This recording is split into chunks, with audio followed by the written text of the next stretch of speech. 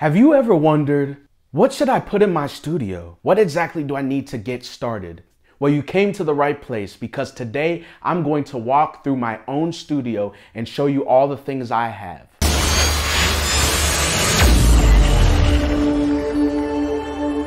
Hi, my name is Kobe James. I'm a music producer and I teach people how to make beats and grow. Okay, so the first thing we're gonna talk about is the Yamaha HS8 speakers. Now, these speakers are really nice. I've had them for about seven years now. These things have run very well. They run long and they last very long. The thing I like about it is just the quality of the sound is really nice. Now, these aren't the only options. There are such things as KRKs, but I personally love the Yamaha HS8s. And they also have in the back, they have an XLR cable, and that's what you need to plug into the interface so that you can hear them out loud. Now for the back of it, where I said you need an XLR cable, that goes into this right here. And this is an interface. This right here is a Focusrite 2i2 interface. Now this interface is very nice. Now they have these knobs here. Um, it's pretty cool actually because when you hook it up to the mic, you can actually change the colors. The neon colors will come on and it creates a, uh, a type of different color here. It's uh, very nice. Um, so this comes on 48 watts. That's when you want to plug in a mic. I press that. This is the gain for the volume for the speakers. This is the gain for the headphones. And there's the headphone jack here. The direct monitor, you have to press the direct monitor. That's how you get your mic to work. Um, and then these are the different things you can plug in. This is the mic I have connected. And also you can also put guitars in here as well. Now the next one I have is the Apollo Twin interface. Now this interface is the real deal. It's a little bit more expensive than the Focusrite, so you don't have to get this one, but my sound quality improved tremendously when I bought this. This is the Focusrite Apollo Twin MK2. Very nice.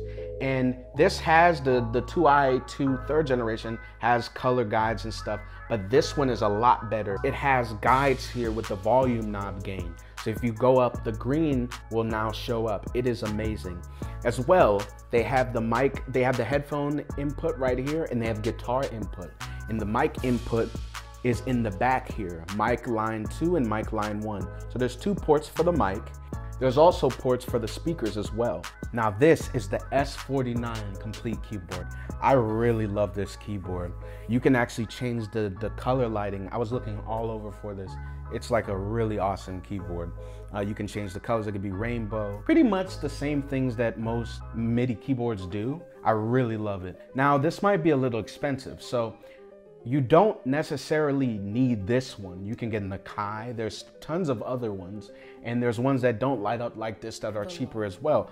Or you can get this one, but just smaller. You don't need these full set of keys. So there are plenty of options for you to work around your budget. Now this mount I have right here, that's for the speakers. But as I've realized and analyzed my height um, and the chair that I had, the, the height of the speakers are okay, I guess, but the chair I had caused an issue for me. So I don't really use a mount. I still recommend speaker mounts highly if you can afford them. This thing is awesome. This is the K and F tripod. I love this thing. You can use it for anything you need. And maybe if you wanna take pictures of your studio or something, this thing is awesome. Here's the Ulanzi case. This is actually where I put my iPhone. Now, if I'm on OBS, I don't need that because I'll just use the webcam I have. You can take it off and there's actually a part right here and you can screw your camera on here and I love that. So you can screw your camera on here and then now you have a place for your camera to mount.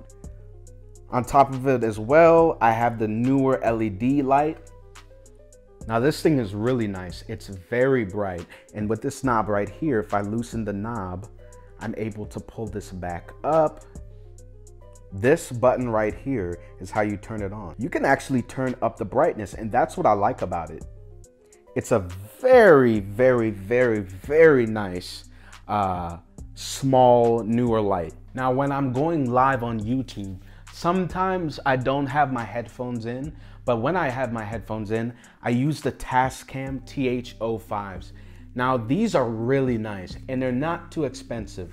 They're very nice and they work very well with the with the Focusrite The old Sennheiser headphones I had, um, when I plugged it into this new 2i2 third generation, not this old second generation I had, they weren't as loud and I thought there was something wrong. Maybe the interface was defective. The Focusrite interface was defective. But I actually figured out after doing further research that there's something about the new interface where the headphones were fine and the interface is fine, but those specific headphones just sound low in terms of the volume. I don't know if anybody's dealt with that with this new 2i2 uh, third generation, and you're like, why is it so low? I can barely hear the beat. I can barely hear my voice, and it, it was really irritating. So I switched from the Sennheiser specifically for this interface, and I used the Tascams, and that solved the problem. These are Tascam TH05s.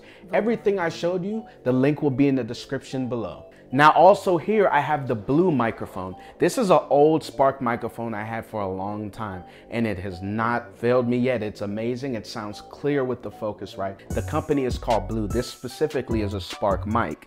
It's pretty good. Also I have a pop filter here as well to help with when you're rapping and stuff. I used to have some rap skills before but I decided producing was for me.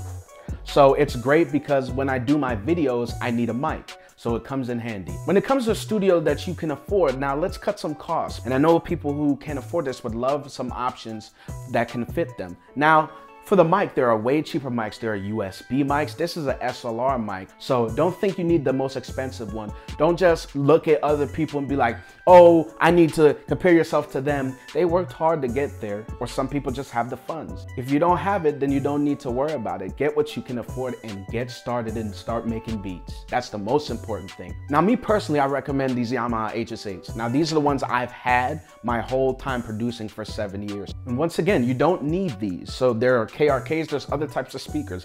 If you see, I have these pads as well. So the pads are really nice because they take out the echoing from the room. So when it comes to having a studio that works, you don't need all this stuff. I've had this for a long time. That's why I wanted to show you what I had. So this is my studio, guys. I'm glad you are here. I'm glad I got to show this. A lot of people are actually asking me this. So I'm glad I got to do this for everyone. And I hope I helped you guys with the different things. And the most important thing is you don't need all this to get started. You can get cheaper things than I got here and you can make just as good beats. So I don't want you to be fooled and think that you need to spend thousands of dollars out of the gate to sound like your favorite producers. This is just not true. You can still make good quality beats with a cheaper setup. So if you liked this video and you found it very helpful, subscribe and hit that subscribe button below and also hit that bell notification to the right so you'll be notified every time I have a new video. Thank you for joining me and I'll see you on my next video.